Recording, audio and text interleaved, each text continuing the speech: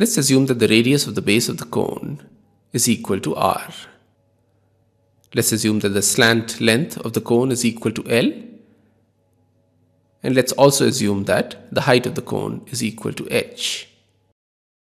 Since this is a right circular cone, therefore from Pythagoras theorem, it follows that L square is equal to R square plus H square. And therefore, R square is equal to L square minus H square. Now the volume V of the cone is equal to 1 upon 3 times pi r square h. Substituting the value of r square obtained above, this is equal to pi h upon 3 times L square minus h square which can be written as pi upon 3 times in brackets L square h minus h cube. Now the volume of the cone is maximum or minimum when the first derivative of v with respect to h is equal to 0. This implies that pi upon 3 times L square minus 3h square is equal to 0 which implies that h is equal to L upon root 3.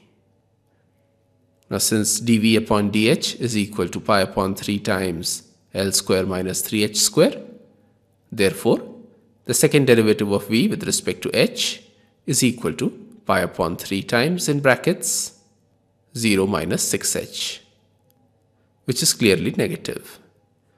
Therefore, the volume V is maximized when h is equal to L upon root 3.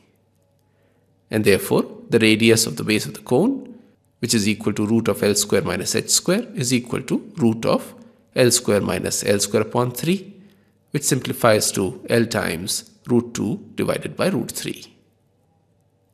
Now if alpha is the semi-vertical angle of the cone then tan alpha is equal to r upon h and for the cone with the maximum volume this is equal to L root 2 upon root 3 divided by L upon root 3.